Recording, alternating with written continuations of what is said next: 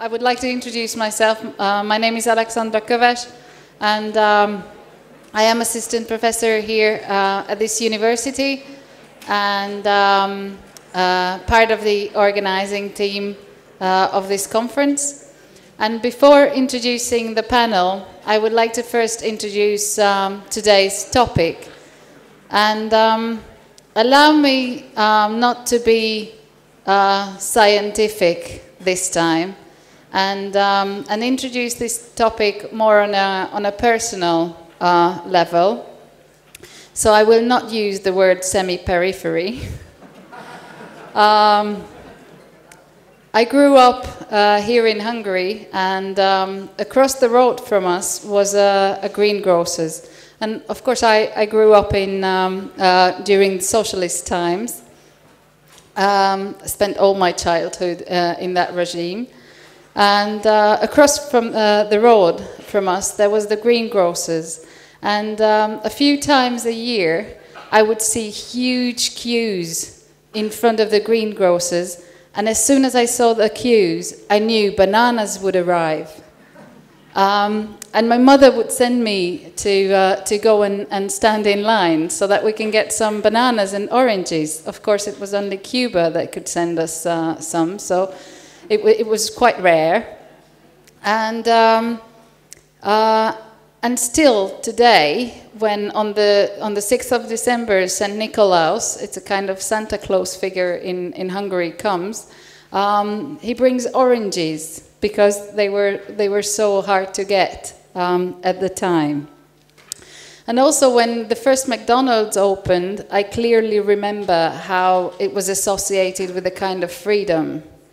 Um, and um, and, and th these, these stories are just to, to, to show you how um, I don't consider myself too old, but still, in my head, um, these, um, these shortages or, or these times are, are clearly associated uh, with uh, well, consumerism, with, with a kind of freedom. And also when I, when I talk, to about, talk about degrowth to people, the first question I, I get, I get is, um, are you a communist? and um, and I, I, try to, I try to tell them that just because I'm criticizing the same system as, as communism did that doesn't necessarily make me a communist. But this makes it quite difficult uh, to talk about degrowth in this, in this country. And um, I was talking about bananas and oranges, but this is coming from a generation uh, that has never experienced war or, or any major conflict. But um, our southern neighbors weren't that lucky.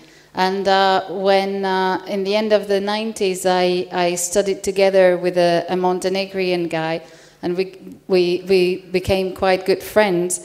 And I remember the way he used to talk about his own past was the dates he used was always before the war, during the war, and after the war.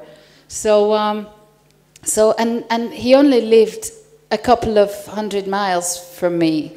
Um, so obviously they, uh, um, when capitalism came, they, they, they, might have associated that with, um, with a, a, form of stability. But um, Danijela was, will surely uh, tell us more about that.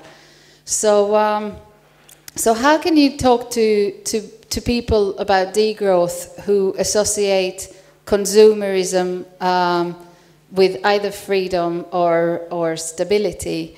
And, um, and how can you explain that um, you're not necessarily a communist if you, if you want to change uh, um, a few things in, in the system?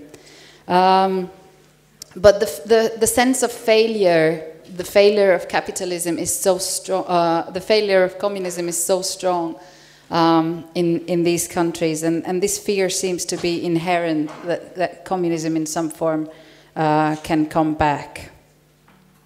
So uh, uh, these are the questions. Um, these are the first questions. And going a little bit further south um, uh, to, uh, uh, to Greece, I am looking at events in, in, in Greece with quite, quite mixed feelings because um, one way I, I feel really guilty um, and this guilt is, is fueled by a sense of excitement that I'm excited to see what's happening there. I'm excited to see whether, um, whether things can change, whether new things can come from, from this kind of crisis. Um, and of course, I shouldn't feel that, but it's like it's it's like being a I don't know a football supporter from the side of the pitch and and cheering cheering them on, but it's not really me on the line. Um, but I think it's a very exciting question uh, to ask whether uh, whether Greece, with all, all its problems, can become some kind of cradle of European degrowth, or um, at least um, uh, at least um, introduce a few few measures that would would lead to that. Um, and um, and also once um, one question is that. Uh, democracy is, is, quite fragile in these countries, or um, I would put it that the the crisis of, uh, of representative democracy is, is really strongly felt um, here. And, um, and how can you, um, people are, are, hugely disillusioned with, uh, with these kind of institutions. But how can you engage people in, uh, in social movements when they are really disillusioned? Um, so this is another question that um, that we might discuss today. So, um, so this was a kind of uh, introduction to today's topic, and um, even though probably a lot of you know them quite well, um, I will introduce uh, today's panelists, uh, starting with uh, Danijela Dolenec. Uh, she is assistant professor at the Faculty of Political Science at the University of Zagreb and president of the board of the newly founded Institute for Political Ecology. Um, she teaches comparative politics, social science methods, and politics of protest, while in her research particularly fo focusing on post-socialist political economy and the role of contentious uh, politics in democratization. Some of her recent works include, uh, for example, why power is not a peripheral concern. I did say the word peripheral um, exploring the relationship between inequality and sustainability, and exploring commons theory for principles of a socialist governmentality. Um, and um, our other uh, panelist today is uh, Giorgos Kallis. Um, he's uh, an ecological economist, professor at the, the Autonomous University of Barcelona, um, he has published uh, widely in the interdisciplinary field of environmental studies. Um, he's quite a well-known figure of, uh, of the degrowth theme and has published uh, um, widely in the topic. Uh, his recent publications include the degrowth vocabulary for a new Era book that he edited with uh, Federico Demaria and uh, Giacomo D'Alisa. Um, and our third panelist is uh, Zoltán Pogátsa. Uh, he's a Hungarian political economist who teaches at the University of West Hungary, focusing on the economics of European integration. He has published numerous uh, books and articles on European integration and economic development. And his recent books include Heterodox uh, International Political Economics and the Political Economy of the Greek Crisis. So uh, I guess he will talk about Hungary as well as Greece a little bit. um, just a little bit of overview of how this uh, session will go. We'll hear um, eight to ten minutes um, from each panelist, kind of, um, um, the, they'll give us uh, their thoughts on the topic, and uh, then we'll have a 30 minute debate among them, and we will give the floor to you and we're looking for um, uh, your questions and comments um, um, So I give the floor um, first to Zoltan, um, and uh, I hope we'll have a nice debate. Okay, thank you very much. Uh, I, I, want to talk about two things. First of all, why it has been difficult to talk about issues like degrowth in uh, former socialist countries and former Soviet bloc countries in particular. And then I'm going to move on to why it's become more easy in the, recent, uh, let's say, five or six years to, to do this. I think the, there is a, in development economics, there is something called the demonstration effect. The demonstration effect means that if you are from a semi-peripheral country, I didn't promise not to use the word, if you're from a peripheral country or a semi-peripheral country, and you visit a more developed country or you have like tourists coming from more developed countries, you see their consumption patterns and you basically become jealous of what they consume. And this spreads around society. It's also possible through the media, etc., etc., and you want what they have. Now, we had that massively during communism, because communism was an underconsumption society as a shortage economy, so we were very jealous. And in Hungary in particular, we had all the Germans coming to Hungary, they couldn't meet the East Germans and the West Germans. We had this tradition that the West Germans came with the, the big Mercedes cars and the East Germans came with the plastic Trabant cars and the West Germans paid for the East Germans at the end. So it was obvious, you know, which system was which and everybody was hooked on a living standard, you know, wanting to live like the West Germans. So there was this thing and there is there generations to whom you cannot really explain about degrowth because their entire socialization when they were young was about trying to once live like the Westerners. So it's very difficult. That's, that's their, it's ingrained in their psyche that the whole point of life is to consume like the Westerners. So that's difficult.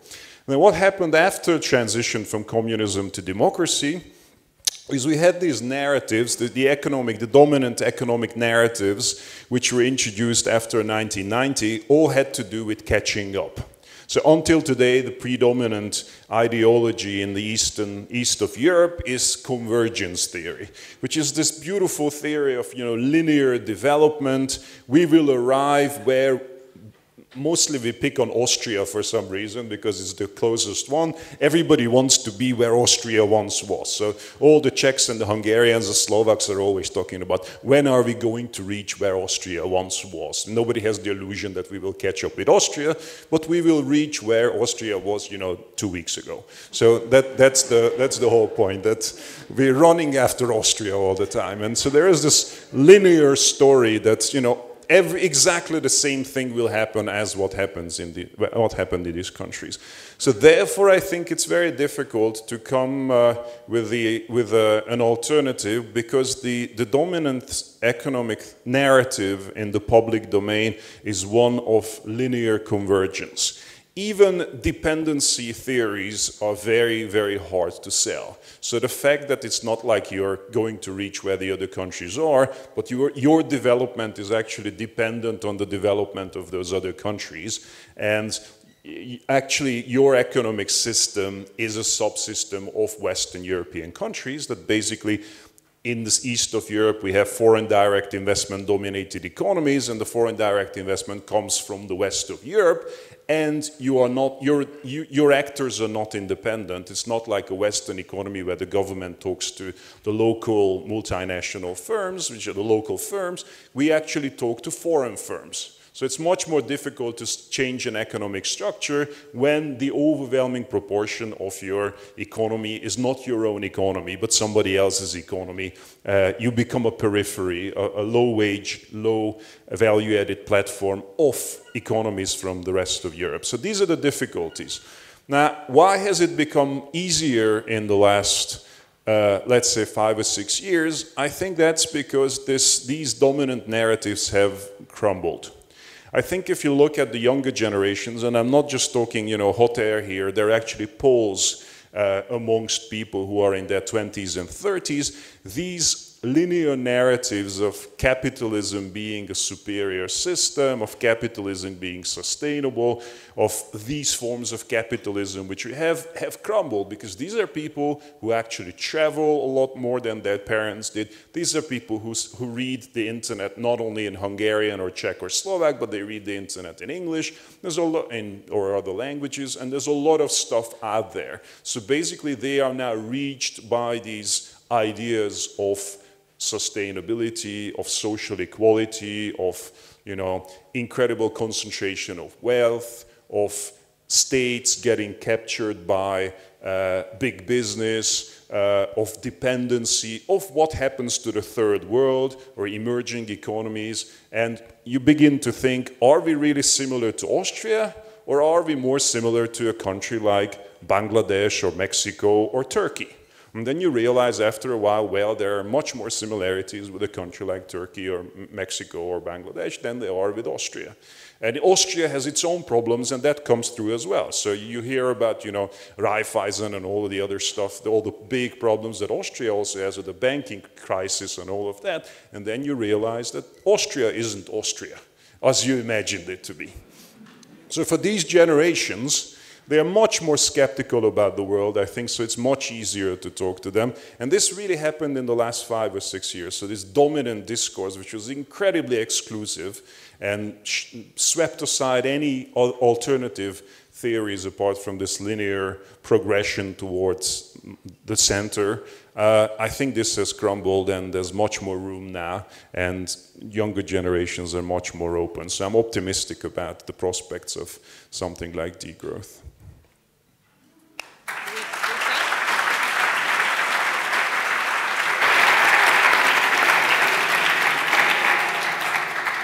First of all, um, I want to say thank you for thank you to the organizers for inviting me. It's very exciting. I'm also one of those who raised my hand, uh, being uh, at the degrowth conference for the first time. Really glad to be here. So um, just wanted to say that as a first. Uh, Zoltan uh, raised a couple of um, you know kind of themes uh, that I will pick up on, and as you'll see very soon. I'm, I guess, one of the reasons why this is called semi-periphery because I actually use and want to kind of advocate uh, for, for the concept of usefulness of talking about European semi-peripheries. So this is something that I'll try and focus on uh, in this brief intervention. Before I say anything about anything, I also want to stress that almost everything that um, comes out of my mouth is um, results of um, collaborative research and collective work uh, by, with a number of people, many of whom are in the room, like Mladen Domazet and Karin Doolan and Mislav Žitko, and at least, uh, I should mention at least two organizations. One is Group 22, which for a number of years has been uh, a source of um, inspiration and um, um, thought-provoking uh, conversation, and definitely the Institute for Political Ecology that was just introduced. Um, a new, uh, new institution, new organization from Zagreb, which has just completed its first um, fully autonomously run Green Academy, where we had uh, a module on degrowth. So I wanted to, to kind of put that out there. Uh, in terms of uh, the intervention and what I wanted to talk about, I wanted to start a bit um, big, you know, with a, a, few big sentences and then narrow it down. So the, the, big, uh, the big idea is um, why I personally engage in degrowth uh, thinking, primarily thinking and theorizing, but to some extent, hopefully, also political practice. Uh, is because I think um, degrowth um, creates and poses two fundamental kind of um, tasks for the left today.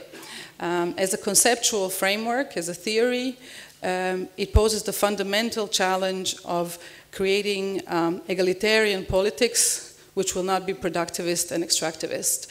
Uh, and that is, I think, the, the crucial fundamental task that, that is ahead of us, which is really difficult. Um, and the second thing, it's also a set of practices as a social movement, a set of practices which, as we heard also in the introductory panel, is focused on alternatives, on building alternatives and new proposals, uh, on a metabolism that will be different, not only smaller, and which um, uh, very much focuses on concepts of the commons and conviviality and care, which are also, I think, uh, fundamental um, ingredients uh, for left politics in the 21st century. Now, these are the big, you know, these are the big stories that we can and uh, big conversations that uh, we have to take. Uh, but in this very short kind of intervention, I have a much more specific question, and that is, in this, you know, gargantuan task for the left, uh, does the European semi-periphery have any agency? Or do we kind of, you know, wait it out until, I don't know, Europe, old Europe figures it out and then we kind of follow along? Uh, that's where um, somehow uh, my question is. And I think here the, the concept of the semi-periphery is really useful because if you look up, you know, the concept in world systems theory, it says these are countries and societies which have features, kind of some features of the modernized West and also some features and characteristics of kind of the underdeveloped. And they are, in that sense, kind of in between places which is why in these societies, in, in post-socialist Europe and, and elsewhere in the, in the Balkans, you have very often a metaphor of duality, where in Hungary you have this idea of the double structure, as if there is, you know, one Hungary which is uh, westernized, liberal, liberal, oriented towards um, kind of um, modernist ideas, and against that there is a traditional um, society.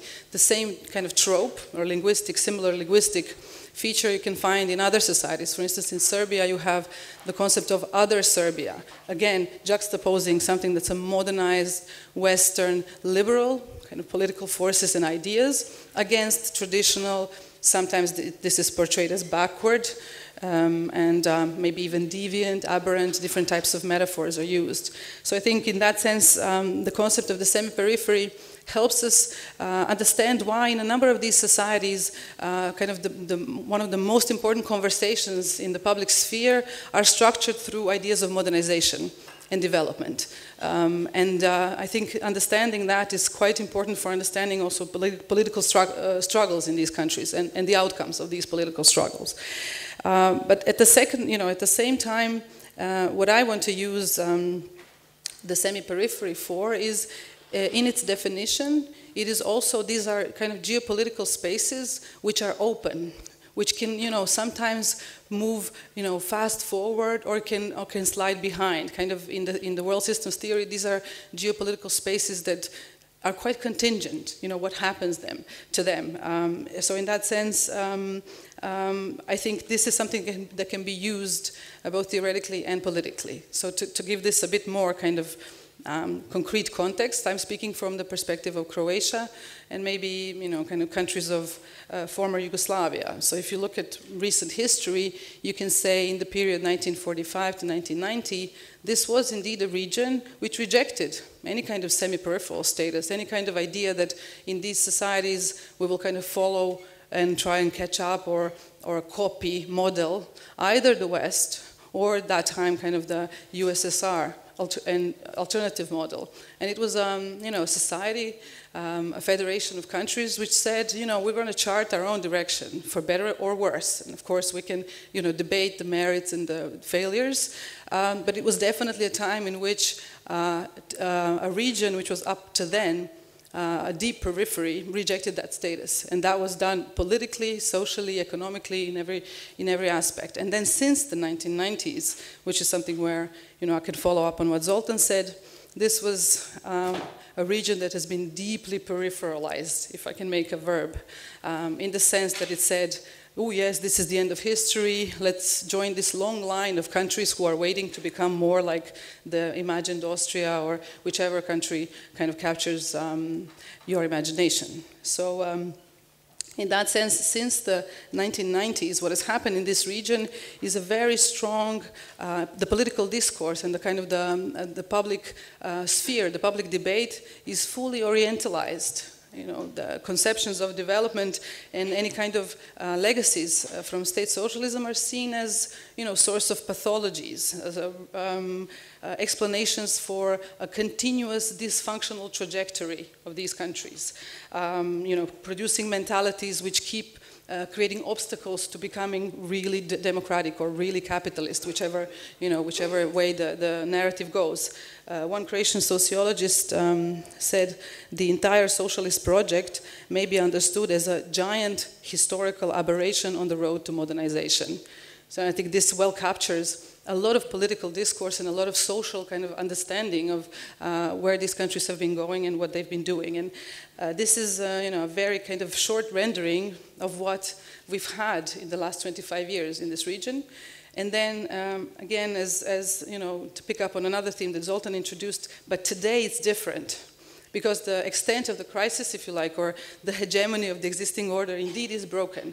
And because even here, you know, in the, in the peripheries of Europe, it's clear that nobody the heck knows, you know, how to get out of this. It's a good time to assert that perhaps, you know, semi-peripheries of Europe have important practices, important knowledge, important experiences they can contribute to, um, um, you know, a degrowth project, to an alternative um, idea of what societies and what social and human well-being should be like. So, you know, just saying that, that's easy, um, but what would they be? So I have a few pointers um, in terms of what are some of the practices and experiences and knowledge uh, that this region could offer. Um, going from kind of more practice-oriented, we could mention, for instance, widespread uh, food production for own consumption, which is something that Petr Jehlička wrote, writes about. We can talk about a very large, um, you know, segment of producing and sharing outside the market. Uh, we can mention uh, various practices which would fall under ideas of conviviality, like you know, taking time to not only uh, produce your own food, but to make meals and to have them together and to spend time together um, as something that's also important. Going a bit kind of more structurally, uh, the region of um, former Yugoslavia has important and I think relevant experience with practices of self-management. You know, today um, a lot of energy, both activist and scholarly, is going into exploration of the concept of the commons. And I see this as an opportunity to actually you know, link up some of the theory of the commons with important experiences that uh, Yugoslavia was going through with uh, various you know, policy experimentation and failure regarding self-management and regarding problems of how do you link up very kind of small, you know, management of companies into a larger system that's supposed to, is supposed to support them and supposed to support a commons practice. Um, uh, apart from that, one other thing that I would mention, which is, you know, uh, maybe to, a, to an extent um, reflecting what Zoltan was saying, there are features in these populations in terms of their cultural orientations and uh, value orientations, which are also, I would argue, um, relevant for, for a degrowth project. And one of them is the fact that in this region there are very widespread egalitarian orientations and also preferences regarding redistribution. I think this is something, and generally to even be more even kind of more general, I would say relatively uh, strong um, orientations towards social justice concerns. And saying this, I base that mostly on survey um, analysis and survey research, some of which I've done um, myself. Um, and um, you know, linking this up, if we say that for a degrowth project, some some sort of um, uh, strong concern with with social justice is important, this is actually at odds with a lot of, as you as this audience knows, mainstream um, discussion about environmentalism, because in a lot of that is underpinned by, you know, Inglehart's post-materialism and the prosperity thesis, where only if you're prosperous, i.e. relatively wealthy, then you can be concerned about the environment and then you can, um, you know, do something about it, act on these concerns and act on, I don't know, climate change and things like that. And actually, you know, uh, research that we've been doing in the last couple of years uh, has gone, uh, you know, made efforts to debunk or at least to you know, severely limit uh, the reaches of prosperity uh, thesis. Some of it has been done already previously. We know that just by rise in income, this does not translate to environmental concern. But in, in our research, we've actually shown that uh, levels of inequality and concerns regarding inequality are the crucial link that's missing. Because when you introduce inequality into the picture, you see that this has a negative effect on environmental concern, in readiness uh, for any kind of uh, you know, material sacrifice, but it also has, of course, an expected corrosive effect on trust, on interpersonal trust and other types of trust that we need for a recip you know, reciprocity and some sort of societal well-being. Um, so in that sense, um, you know, the way we see it is it's sort of trying to debunk this idea that an environmentalist is this kind of green consumer and a wealthy Western environmentalist, and suggest instead that uh, perhaps um, kind of um, a degrowth compatible subjectivity is perhaps to be found in, in these uh, populations of um, uh, the European semi-periphery. So one more kind of facet I would mention before I end is also, for instance, the fact that we find if we focus on environmental concern um, as, as a variable, then it's always the Western affluent societies that indeed these populations show um, stronger environmental concern. But if you flip it over and you, and you look at indicators of awareness of environmental risks, then it's the European semi-peripheral countries where the populations are actually showing a much greater awareness of environmental risks.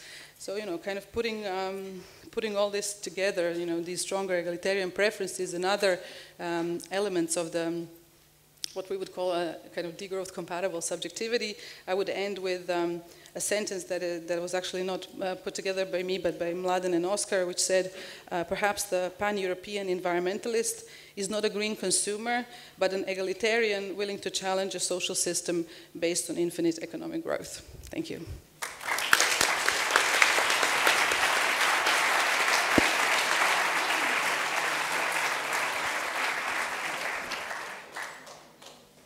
So uh, I want to take up from uh, Szandra's provocation of everyone watching uh, what's happening in Greece as a spectator. I don't think anymore. This was like uh, one and a half years ago or one year ago, and I would put myself as those that as spectators uh, we were watching what's happening in Greece because although I'm uh, Greek, I don't live in Greece, and I think it's very different your experience and your connection to something if you're watching it from uh, from outside or if you're living it inside. But of course, in a sense, I was also inside that my family, my friends, and everyone was there. And of course, I know a little bit, perhaps more of the politics or of the context of Greece, but uh, not as much as uh, Zoltán, who has done his research on that.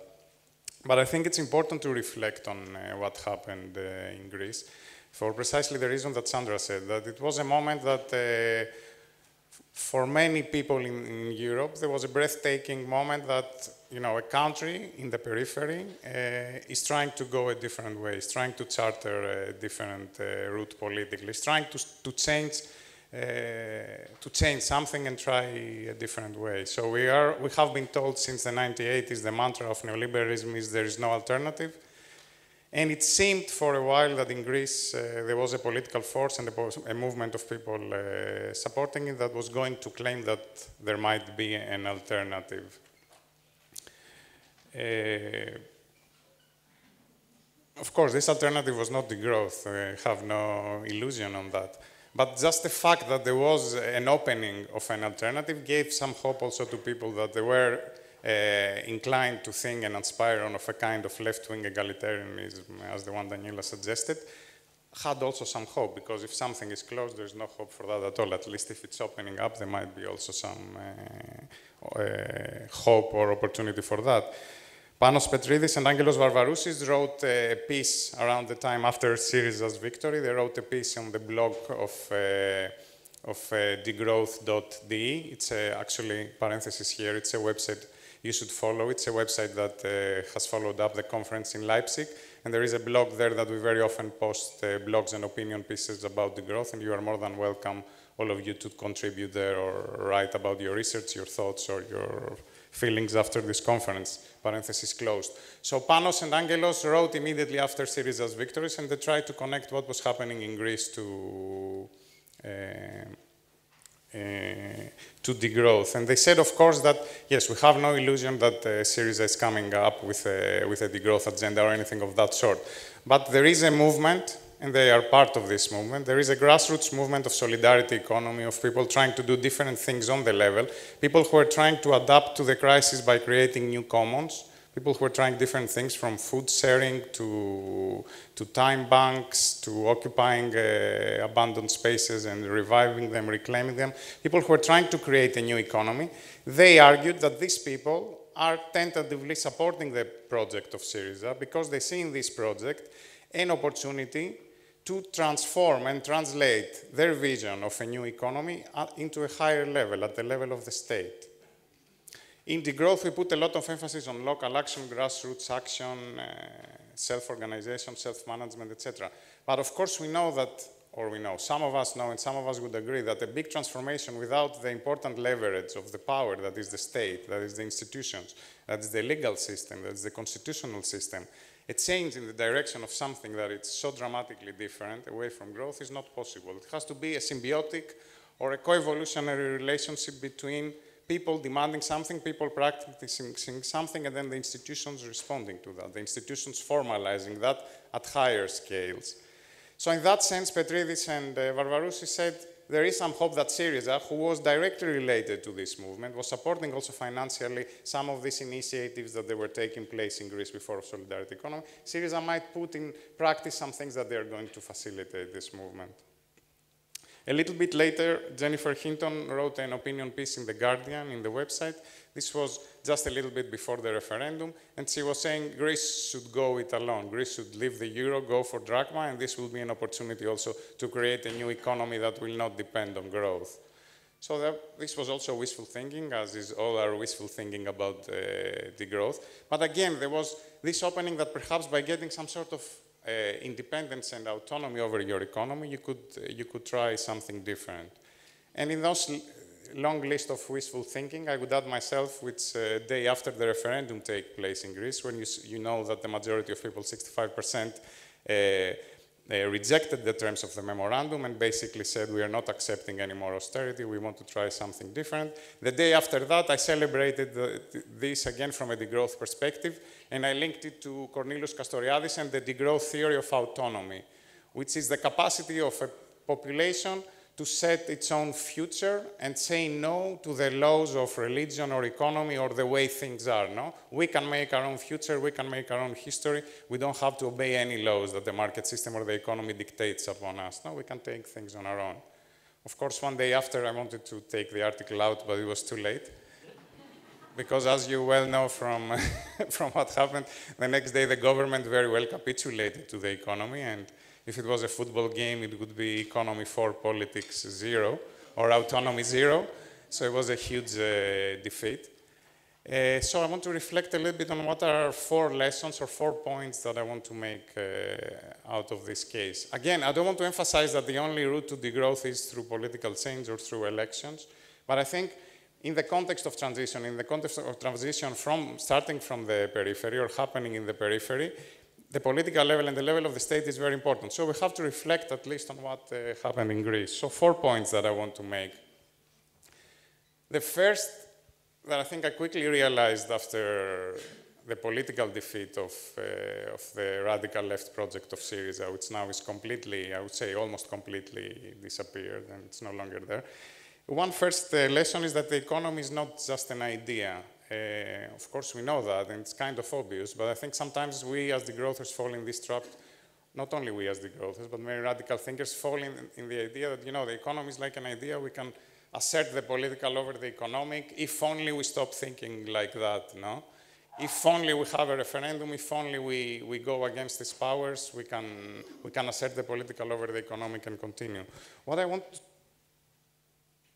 to take from Greece is the fact that of course, neoliberalism was a construction, it was an idea of how things work, but this construction changed things, changed real infrastructures, changed the way material flows uh, operate. And to change this again, although this was an ideological construction, it was an idea, to change that and escape from that uh, is very difficult and comes at a very high cost or at a very high risk.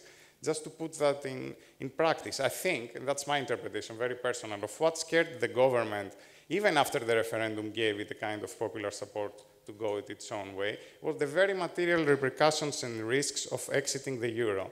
The fact that it couldn't print money very quickly, it couldn't have money coming very quickly and supplies from the outside, and it could face a long, uh, a, a, very dramatic uh, uh, humanitarian crisis. It wasn't just scaremongering that. I mean, it was, it was a scaremongering from the Europeans, but they really meant it. That this is what's going to happen to you. And this is real and material. It's not just ideological.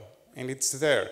And I think neoliberalism has established a lot of this type of infrastructures, of trade-free agreements, of the Eurozone, etc., that make it really difficult to escape from them. So it's not just a matter of a political voluntarism to escape from them. There is a high cost to be paid, and there is not support, obviously, for this high cost or risk to be paid. And this is, I believe, this is what the government was really afraid at some point to take the next step. So some people would say, take the next step. We are willing to wait in lines, in lines for hours and wait for gasoline or for food as long as it takes. But of course, these were not the majority. And the moment you would have these lines, of course, the whole, the, the queues, the whole project of Syriza would be in, in, in disarray. And that, that was where a very difficult balance. The second point I want to make is that given the current constellation of geopolitical powers and the way these structures have been structured, like the Eurozone, it is very difficult, I think, for change at that level, the political level, to start from uh, the, the, periphery, the political periphery. So the idea of Syriza, or the idea of the political party that they had, was that they can create coalitions at the European level to make the change, and I think it was correct. But they failed utterly. So they tried to court uh, France, they tried to court Italy, they find closed doors everywhere.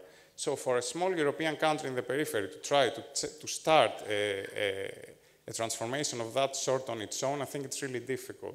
And I think the very different way the European Union is treating uh, UK, now that the UK wants to, to leave, uh, to leave uh, the EU, the very different way it is treating UK to the very different it treated Greece and all the, the threats and punishments that they were waiting for Greece if we tried to leave uh, just the euro, not the, the, the, EU. The very different way shows you how much more difficult it is for us, for a country with less power to do changes like that. And I think if change is to happen, it has to happen at the center. It has to happen in Germany, it has to happen in England, and of course in the periphery, but it has to, to start there, or in Italy perhaps. I'm not sure if Italy is so strong, and I don't know if change is coming from Italy, but every now and then we read that Italy might leave the euro in any moment, so semi-periphery, okay, okay. Absolved, you don't have to do anything. So the third point, of course, is let's not have no, any illusions. Like within this political movement in Greece of an alternative, degrowth or post-growth or just a criticism of growth was not a dominant part of this alternative. So within Syriza or within the people who voted Syriza, a, a, small, a small part of it, the most activist base of it, which is interesting, is involved in solidarity economies, is part of, let's say, the discussions we are having here. But the majority of the people who voted and the high cadres of the party, the important people, if you want to say, of the party, they had no criticism of growth. All their discourse was about bringing economic growth to Greece, but in a different way, not the neoliberal way. So Yanis Varoufakis, many of you like him. I like him too when I, when I see him speak. Sometimes he tires me because he speaks too much.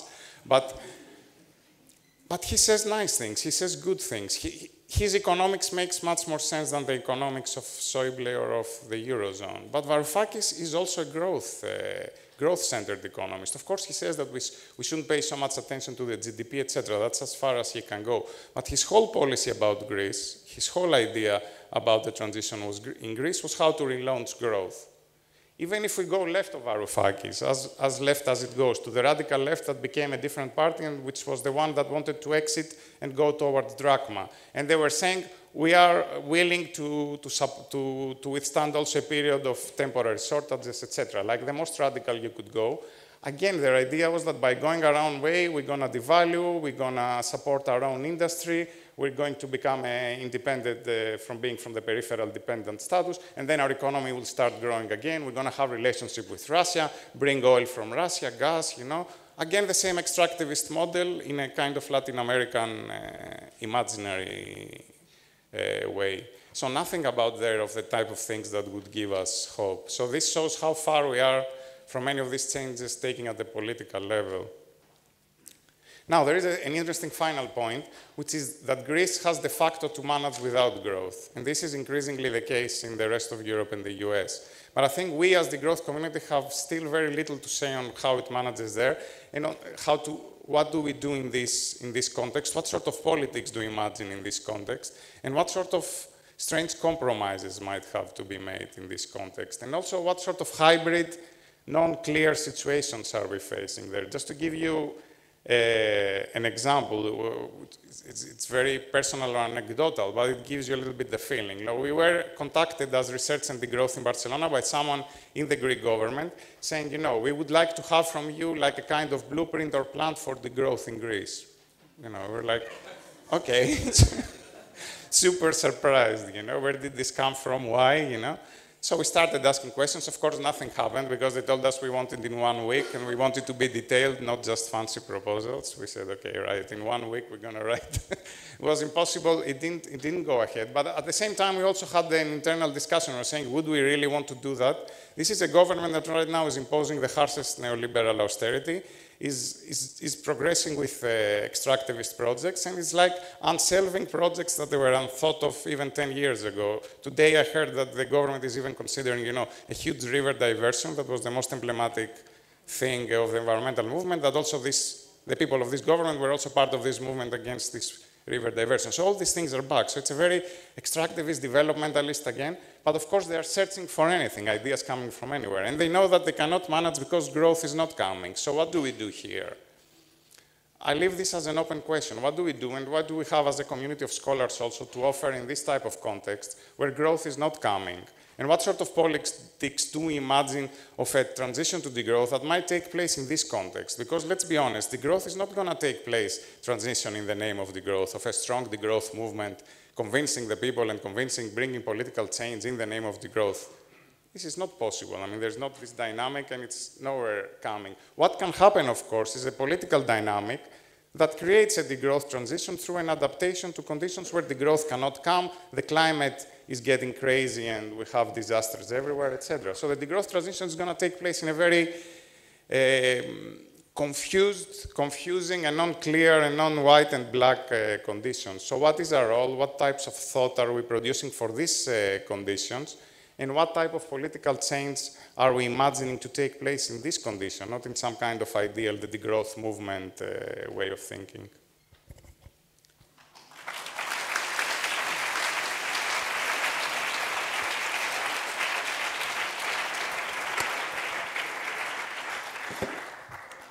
Would you like to reflect on, on either of you, or, or shall, shall we move on to questions? Uh, I have just a short point um, regarding, um, you know, it's of course in many meetings in the last uh, few years, uh, um, meetings on the left, yeah, uh, Greece uh, is an obvious um, source of discussion and debate because it was an attempt, right, as you said, of, you know, I would call it deperipherizing, so trying to do something uh, on its own. Um, I think it's really um, crucial, uh, it was a crucial moment that redefined how we see things. Um, for a number of years, you know, at universities we teach this concept of post-democracy, you know, Colin Crouch said, yes, there are, you know, still formal democratic institutions at state level. They operate, you go, you vote. But as he said, the vitality of the system has gone into international financial organizations and other unaccountable bodies. And, you know, it's really difficult when you're trying to you know, talk to young students and explain how this works. But now when we, we had uh, this moment in Greece, made it very plastic the, the moment when democracy really challenged the status quo, it was crushed. You had a referendum, and then it was completely derailed. So I think um, um, it was one of the moments in which, after which, we could say, um, you know, the hegemony of the existing order is broken because it's so obvious uh, that uh, what's in the what is chosen as the interest of the people is relegated when it really uh, challenges the status quo. Just wanted to kind of throw it out there. If we continue on, uh, on this thought, and, um, and the, the, question is uh, um, if democratic institutions are um, um, in, in some form of crisis, which in most of our countries are, um, but we're saying that challenging the current system is, um, is crucial in terms of degrowth or, or, or, or, moving, uh, uh, uh, moving away from status quo. And we can, we can also see that uh, uh, even those who are willing to do that and are in power cannot do it. And in some of our countries um, who are in power would not even want to do that. Um, so what's, what's the way out? Uh, can we rely on uh, on a on a, uh, a bottom up movement? Can we rely on uh, um, on a different way of uh, of looking at it, not from from the state downwards, but um, uh, from the people upwards, or the communities? Okay, I, I, think that a part of how you do it is changing the narrative, and I think there is actually a very rapid change in, in the narrative. So if you think back 10 years ago, I think 10 years ago neoliberalism was incredibly dominant, and almost everything else was like marginal. Um, and today, I mean, when I was a very little boy, I, I think that only in places like Germany and Scandinavia did these kinds of ideas really have like some sort of. Uh, we were always looking to, to, to Germany, Austria, Scandinavia. These were the countries where these sort of ideas were the strongest, both environmental ideas and, and social ideas. Um, and 10 years down the line, I think that I, am not so sure that Scandinavia and Germany are that strong anymore. I think Germany has actually become the neoliberal powerhouse in Europe. I would venture as far as to, to say that they have taken over from the Brits as being the number one neoliberal country. And the Scandinavians are going sort of slowly but surely eroding. And not much is coming out of Scandinavia or Germany. But what the narrative is being changed, in my view, by Southern Europe. So even though Syriza failed, and Syriza, I completely agree, has turned into another neoliberal government. But one benefit of the Syriza story last year was that I think it changed the narrative massively.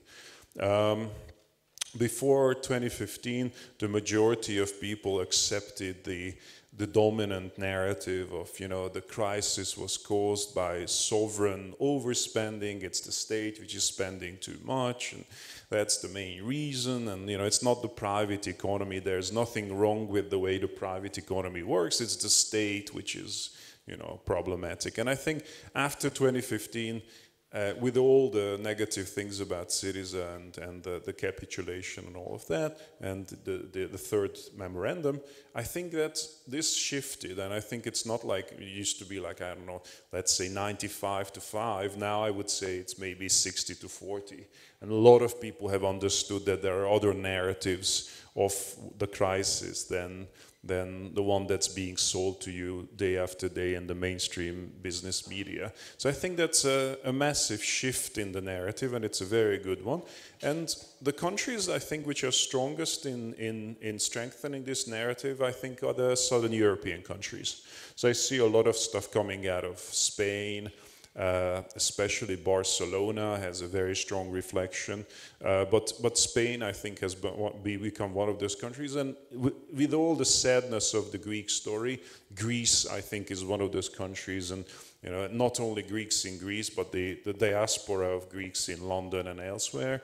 Uh, and I would even add Croatia to this one. I was saying to uh, my, my, all my Greek, basically all my uh, Croatian friends talk of Croatia as some sort of Eastern European country, but in my, in my, view, Croatia is a Mediterranean country, and it fits very well into this Mediterranean pattern. And I think in post, not simply in Yugos, in, in uh, Croatia, but in the post-Yugoslav space, I think there's a lot of uh, activity in terms of shaping the narrative. So I think that now it's the South which is more active understandably they are facing the crisis much more obviously and the north lives in this make-believe world of everything is being fine i think the germans are not realizing the majority of germans are not realizing that their prosperity is based on the the, the, the, the, the, sort of exploitation of the rest of, of, of Europe. They live in this comfortable denial that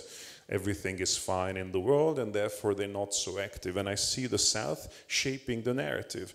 And a lot of good stuff is coming out, even with figures, you know, like uh, popular figures that people, at least in Europe, I don't know how it is in the rest of the world, but I think even in the rest of the world, I mean, people like you know, the, the mayor of Barcelona or the mayor of Naples or uh, the former Greek finance minister. Th these people have become figures, global figures that I think even people in the United States or uh, or, uh, or the Middle East pay, pay, pay attention to. So shaping the narrative, I think it's happening. And much more so than it was 10 years ago. There, uh, there is by far a more sort of heterogeneous discourse now in the even in mainstream uh, news organizations. If you read The Guardian, if you watch Al Jazeera, just to give two examples, the, the, the, the narrative is heterogeneous now. Obviously, the, the neoliberal discourse is still dominant, but not, by far not to the degree that it was 10 years ago, I think.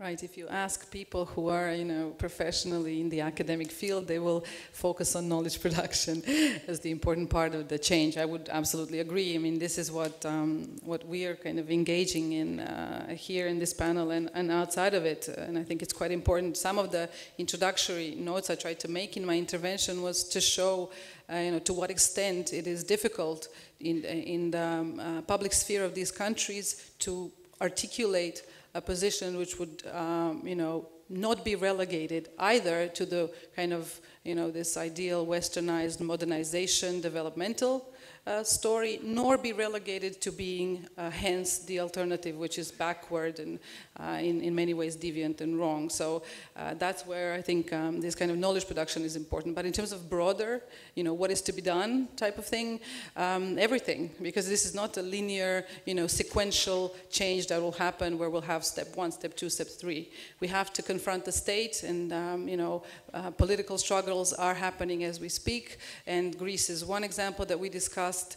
There are rebel cities. There are really important things that are happening uh, in Spain at, at uh, city level, and I, I, would argue that you know um, uh, radical alternatives are perhaps uh, slightly it's more inspirational, maybe a bit easier to think of them at the city level. So confronting the state, but you know thinking city terms and urban politics.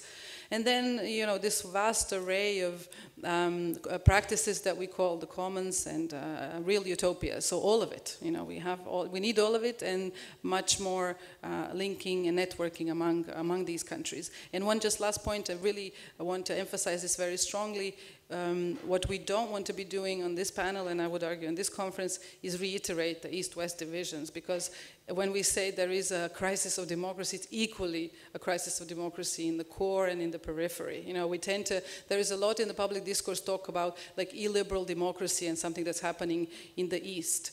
There is a strong re-articulation of the far right, and it's happening in Switzerland, in Denmark, in the Netherlands, and in Austria, in you know United States, everywhere else. Of course, the morphology, you know, the actual, as Fraser would say, the grammar of social struggle is particular.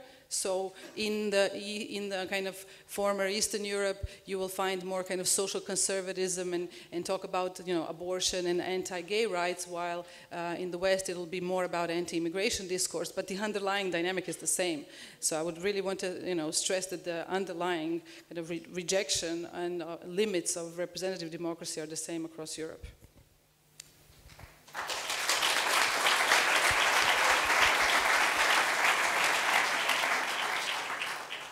Yes, just, just to say that the, the I, I, don't want the, the message from what I said to be a disillusion with the possibility of political change or saying that given that the, the attempt to do something alternative in Greece crashed in its face, then this means we should abandon the state and try to have change at a different level. I think the basis diagnosis that, that Federico presented, that change has to be multi-level and needs a coevolution between the different levels, uh, is correct.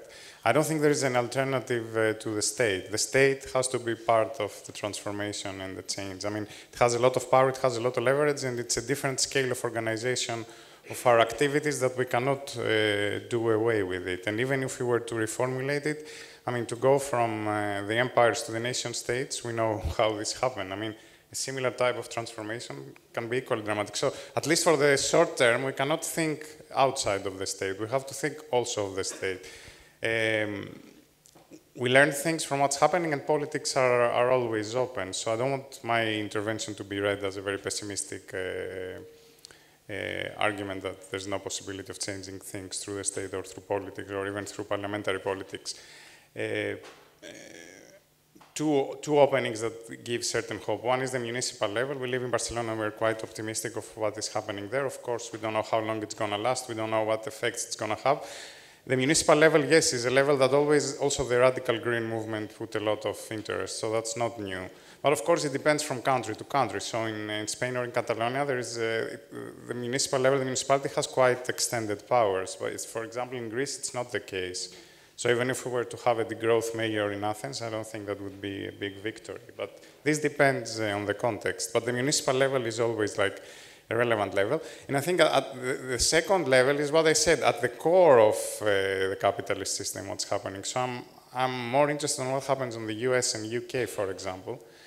Bernie Sanders or Jeremy Corbyn were two political uh, developments to look at. I don't think any of them has I mean, Bernie Sanders is already over. I don't know who's going to follow his politics, but it doesn't seem that it's going to be anything in this direction in the US for many years. Jeremy Corbyn also doesn't look that Uh, very strong right now, but I think it is there that it's the important changes that are going to take place. Again, I'm not super optimistic in the sense that also their discourse tends to be productivist, uh, growthist, etc. But there are also good elements. So you see elements in Bernie Sanders' strategy. You would see a lot of openings to the environmental justice movement, the climate justice movement, etc. But I think there is some hope of potential political change at the higher level, but at the, also at the, at the core, at this core country. So I don't know what's happening in Germany, I don't know what's happening in other countries, but uh, by no means did I mean that we need to abandon looking, analyzing, and hoping and organizing for this level. Now I would like to open the floor to comments and questions, and um, a few few rules I, would like to ask you. One is is to uh, uh, to introduce yourselves. Um, the second one is to stick to maximum one one minute, one to two minutes, um, and say who your your question or comment is addressed to. So it takes three questions or four, five. Thank you, moderator. My name is Satoru Mizuguchi. Uh, I'm a series editor of Springer's uh, theory and the practice of urban sustainability transitions. Uh, it's my question and comment. Uh, to me, uh, two, at least two degrowth. One is degrowth as a, a vision for inspiring alternative for uh, Western capitalism. And second is degrowth as a historical fact for example, Japan uh, experienced degrowth for the last uh, more than 20 years, and uh, some of uh, former communist countries experience zero growth, right? So to me, uh, degrowth as a historical fact is a byproduct of an authoritarian regime. So uh, I like uh, the degrowth as a vision, uh, but uh, uh the degrowth as a historical fact uh, uh, is not, it has another face. Thanks.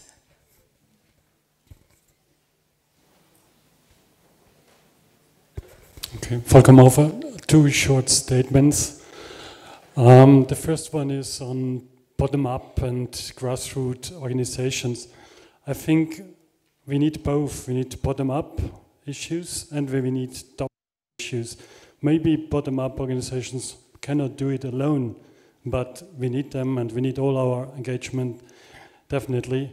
Uh, but we might have to engage more with top-down approaches and think how we can address those politicians, those decision makers with reasonable proposals, yeah? And i I'm not sure if this whole movement, these conferences work that much in this direction especially when it comes to legal issues. How can we shape the society when information does not help or when financial incentives does not help towards the growth?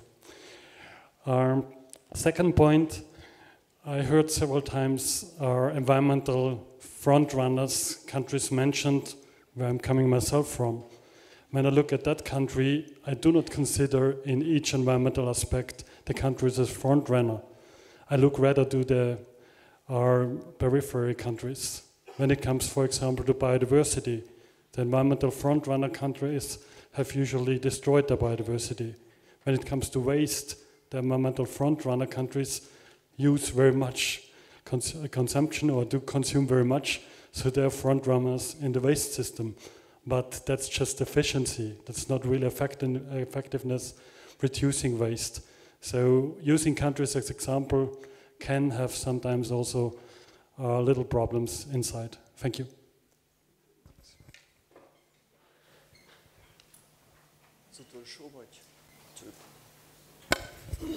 I'm Nicholas Ashford from MIT. I'm also part of the Greek diaspora, as my friend George knows. Look, I think we should, uh, it's really dangerous to take the Greek and Southern European situation as a test of whether degrowth is a sensible or viable philosophy. degrowth that we've been talking about in these meetings has been driven by an environmental and ecological concern, mostly. The degrowth imposed upon Greece and the southern countries is driven by the desire of irresponsible lenders to get their money back. It's just that simple. And the point is that the, what is being objected to in terms of the, that imposed austerity we now enjoy in the United States with the housing market. I mean, the real truth of the matter is wages have gone down. We've replaced labor with technology, which is a real source of a lack of productivity. And it isn't, it isn't the Greek situation at all that, we that we're facing in terms of the, of the most advanced countries experiencing, in fact, degrowth, because that's what we have. We have degrowth in the United States. We have degrowth. When you're talking about 2% growth, that's relative degrowth compared to the population.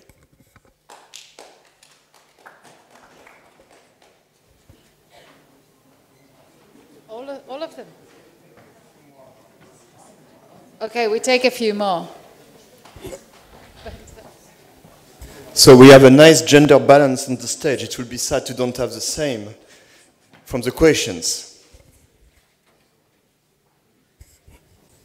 Carolyn Kagan, um, Steady State Manchester and Manchester Metropolitan University.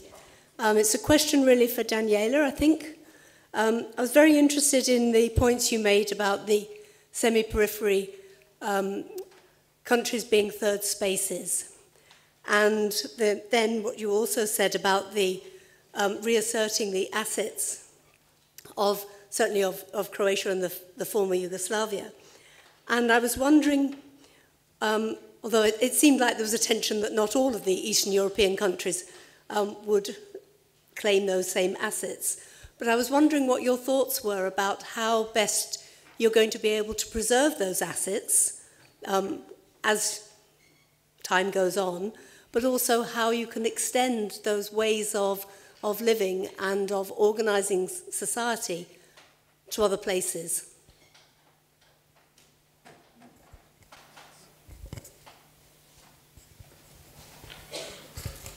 Nina Treu, from oh, from Leipzig. Thank you for the gender quote. I would like more women to speak up from the audience. My question is, um, what do you think about moving for, let's just say, social ecological policies, not even degrowth policies, within the European Union.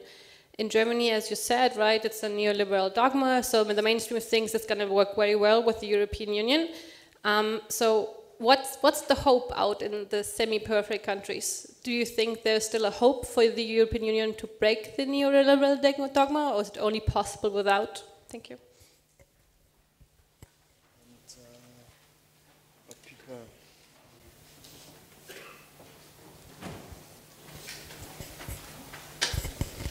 Thank you. Pernilla Hagbert is my name. Uh, I appreciate that Danijela raised the question, but would just like to address it a bit more for the, the rest of the panel. Um, it's, it's very positive and inspiring to think of a diversification of the narrative and, and a pluralistic narrative, but that also means we have to address the elephant in the room, being the other narratives that are uh, appearing in the last five years, for example, and and also well being right wing, but also this idea of the periphery othering others, um, being the border of Europe. Uh, being a relation to to what kind of others, but also being self-reflective within the left movement and the nationalistic and conservative uh, movements happening all over Europe. It's sort of an, an endemic but it's put to its its uh, let's say um, point in the periphery of Europe for a very geographical reason.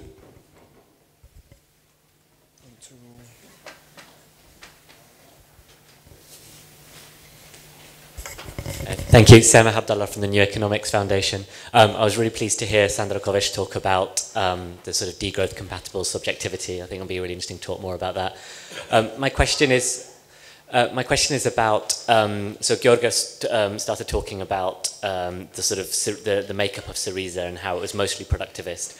And my question to the panel is, do we need to go through that step? Do we think, is a, is a productivist but left dominant a political system more likely to lead to a degrowth future, or actually, in a way, is it might just actually take us further away from degrowth because it sort of stabilizes things?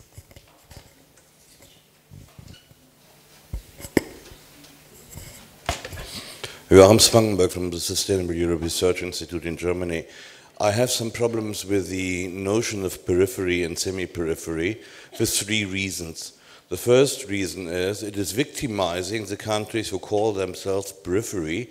They are then periphery and they are backwards. This is not encouraging, this is victimizing. Secondly, coming from Germany, if I look around my country, I can tell you enough pockets which are periphery. And if I walk around Budapest, I can tell you, just go to the next shopping center, enough persons and uh, groups which are definitely not periphery. So the term applied to a geographic unit instead of a social unit is misguiding. Thirdly, behind the term periphery, agency no longer appears.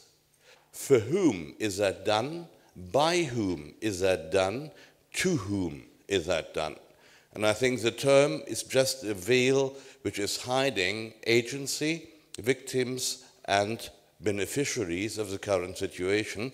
And we should try to avoid that and name the naked king and give the name to the people who are really the beneficiaries of the situation. Otherwise, conflicts cannot be seriously evolved. Thank you.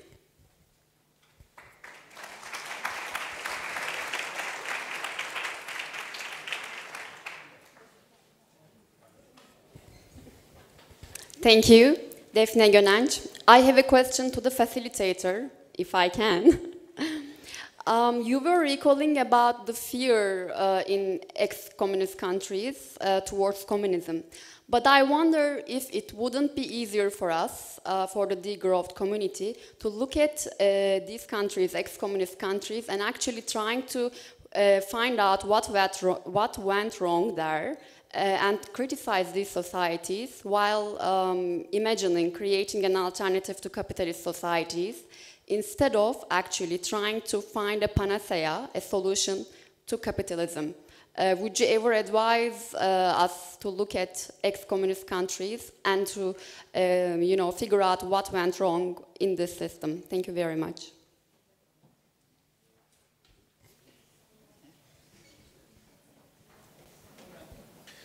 Okay, zillions of questions, so we obviously won't answer all of them, but I'd like to answer the two, two more, uh, more economic questions.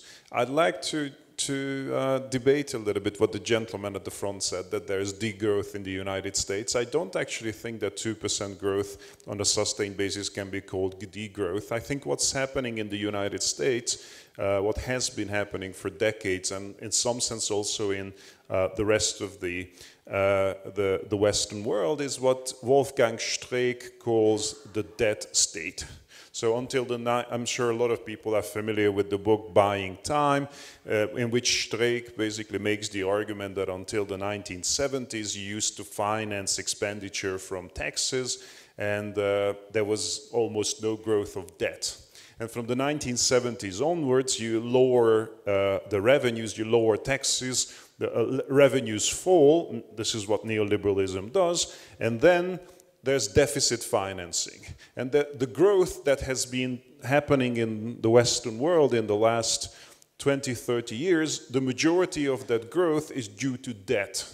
And I think that's a very key component of this whole debate about growth or non growth, because without debt, an artificial uh, imposition of revenues on the next generations, uh, there would not have been growth in most of the Western world. Definitely in the United States, there, has, there would not have been growth in the last couple of decades had the United States not increased its debt levels exponentially since Ronald Reagan through uh, Bush, including Obama. So I think that, that there is growth in the United States, but this growth is, and much of Western Europe as well, but this growth is, is uh, financed partially through state debt, but also through private debt, mortgages, credit cards, etc. This is what Colin Crouch calls privatized Keynesianism. So it's bubble. Yeah, sure, sure. It's it's uns, it's unsustainable, but it's financed through bubbles. Yeah. Uh, to the gentleman at the back who's not listening to me at the moment, uh, hello.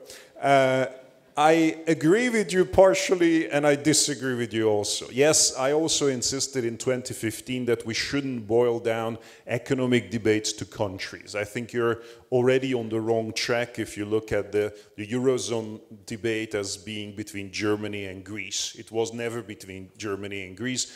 Plenty of people um, were worse off in Germany because of Agenda 2000 and the lowering of the wages in Germany, which exploited the rest of Europe, and, and the, the big uh, uh, corporate corporations in Germany benefited from it, whereas a lot of oligarchs in Greece benefited from the story, whereas the ordinary Greeks had to pay for it. So I'm with you on that, that we shouldn't Uh, uh, boil it down to, to, to between, to, to, to a conflict between nations. But at the same time, you also have to face, and this is a, an answer to a lady who was asking about, yeah, about the European Union. I actually think that there is some sense in still in looking at nations as entities because nations matter, because nations do policy, and for instance, the German policy of lowering wages did have an effect. An, it was a national policy. It did have an effect on the Eurozone, for instance. And I could give you plenty of other examples.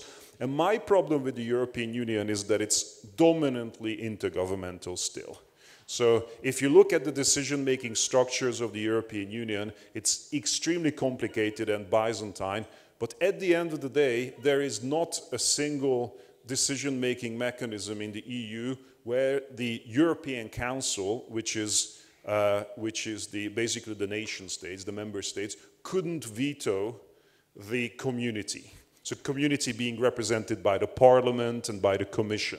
In every single decision-making mechanism, there is the veto from the member states. And as long as that is the case, uh, I think that there isn't much hope for uh, the EU being a vehicle driving degrowth, driving sustainability, because there is state capture at both levels. There is, we, we know very well that there is state capture at the Brussels level. We know about the massive amounts of lobbying firms which are surrounding the commission. We know about commissioners going through the revolving door to work for uh, multinationals, Barroso being the latest example, but there are many others. So we know about the state capture at the the Brussels level, but we also know about state capture at the, at the national level.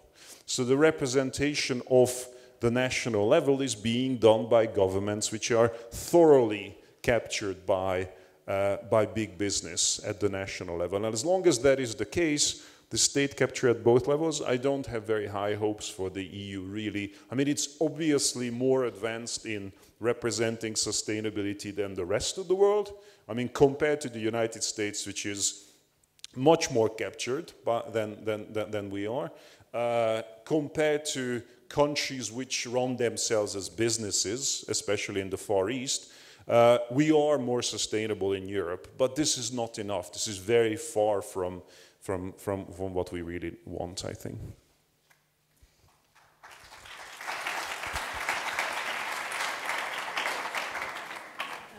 Okay, I try also not to take um, uh, too much time. I'll, I'll pick off uh, uh, also on the on the topic of the whether it's useful to talk about semi-peripheries. Uh, following up on what Zoltán said, I agree uh, not to use it in the sense where it, you know, creates, um, where it treats countries as, as monolithical and then treats something as a prosperous country, another as, as not. I was, so the only thing we can do with concepts in social science is appropriate and say what we want to use them for, and I try to do that because, but perhaps this is also, you know, your comment shows you know, how well or badly, uh, when we use concepts for political purposes, which is what I do, how well or badly they travel. So why I think it's useful politically useful in this region is because of this strong, still strong dominance of the modernization theory and the modernization and, kind of conceptions of development, which treats each country completely uh, through its internal factors and which tends to, you know, put all the blame for uh, failures, again, on the countries themselves primarily on the populations. So the dominant discourse in these countries is that the people are backward, you know, that the people are somehow mm, too traditional, uh, they don't work enough, they have the wrong values, they are egalitarian, which is an obstacle de to development and so forth. So this is why, you know, using concepts from uh, world systems theory is a bit outdated, but the purpose is to say, uh, you know, capitalism is actually an international system and why things, why things look as they do in Hungary or in Croatia has to do with other countries and not just the fact that we have you know, people with the wrong predispositions. That's why I think, uh, I, why, I, why I use it and why I think politically it makes sense. Um, a couple of people uh, kind of um, asked about this, uh, you know, the, the, thing that I mentioned about Yugoslav experience. Here it's also important to say that in the region itself, any mention in, in a mainstream, not even mainstream, but political discourse and public sphere of that period is completely vilified. This is treated as the black box of totalitarianism, uh, and it's, it's uh, full of um, you know, a lack of any knowledge, and it's also not only uh, linked to totalitarianism and kind of, I don't know, uh, this communist threat, but it's also linked to the war, uh, and aggression and all everything else. So it's really hard to even say publicly, why don't we revisit it? For, as I said, for better or worse, um, not, not everything was worse. Maybe some of the practices, some of the experimentation, this was a, you know, a state system which tried to experiment for a number of decades with various practices, some were better than others. And so in that sense, I think um, a couple of people kind of um, um wanted me to say a bit more on that. And finally, regarding, you know, confronting the state and do we go more, as you said, top, uh, top down? Uh, this is the key problem that the left, you know, in this critical moment, we're seeing the rise of the far right because the left has lost its social base a long time ago. It lost what we used to call the working class a long time ago, and now also important parts of the middle class. So when we talk about knowledge production, it's one thing to, you know, build narratives and figure out ways in which we want to talk in order to inspire, but from there to political struggle and political gains because it's not something that's an open field. We have to get in there and struggle to get a voice. That's really hard. And that's, that's why I suggested perhaps the city level is something that's more attainable and it's also a place to experiment with policy. Uh, we, you know, in some of our research we talk about socialist governmentality because the idea is you can't know how to govern differently without actually practicing governing. And it's not something that we'll write out as a blueprint and then once we're there, we're kind of, you know, follow through with policies. That's why I think uh, kind of um, engaging the state at, at, municipal and city level and trying things out and working it out is, is a way forward towards the state. Yeah. Thanks.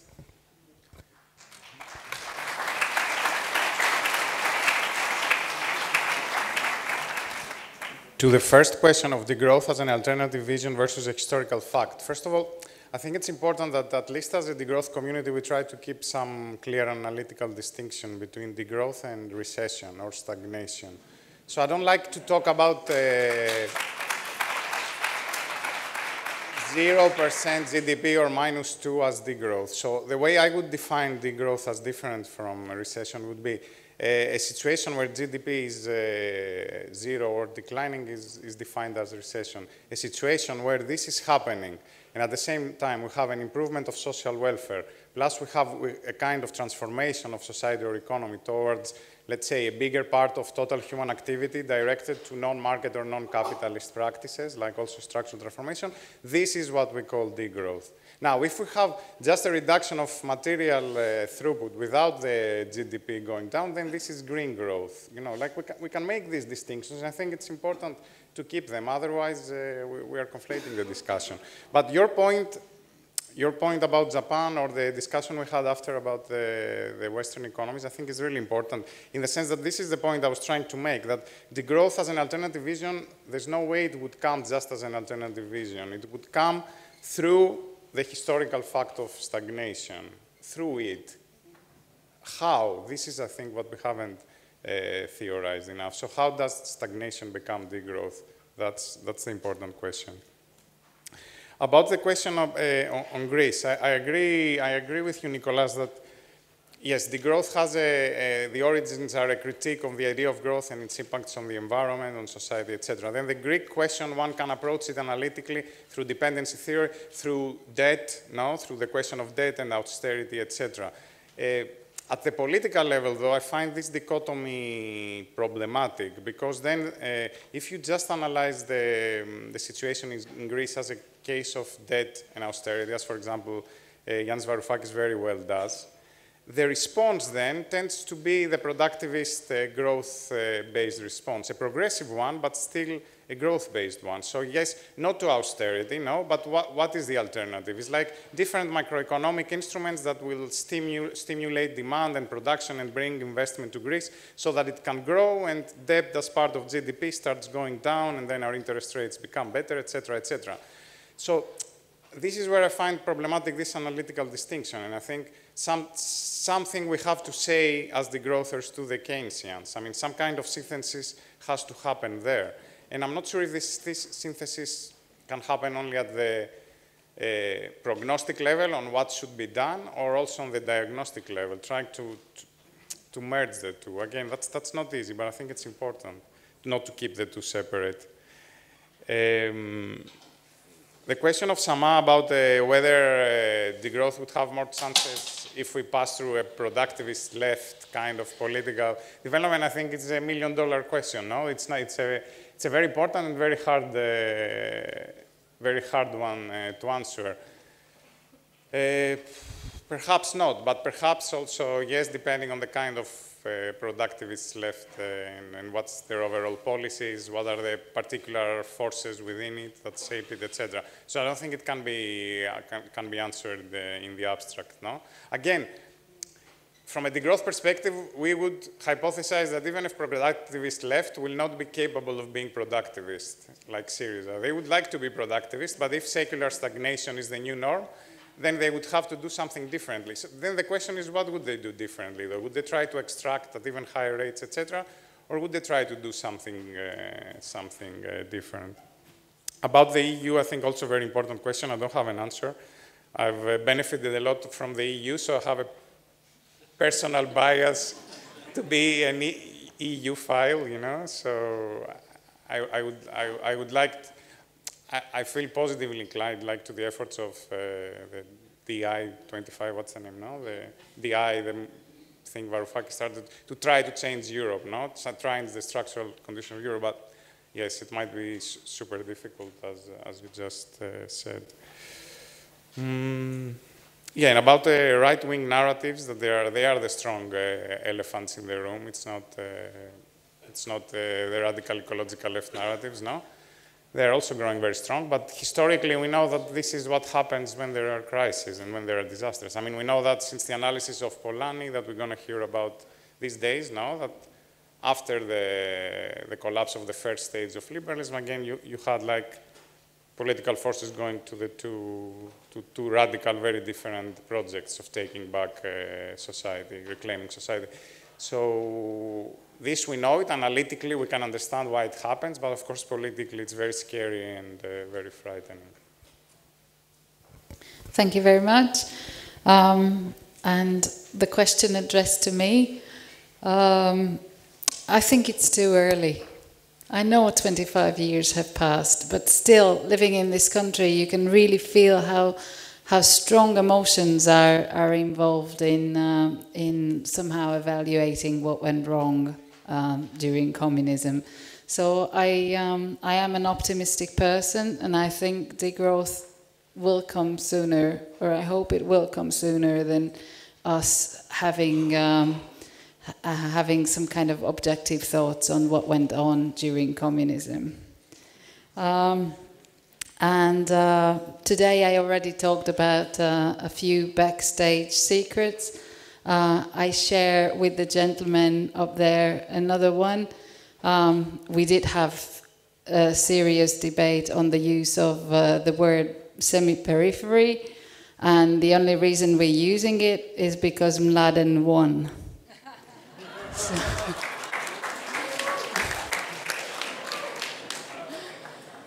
Um, thank you very much. And um, now, now I would, I would like to ask Vincent to share with us a few practical information.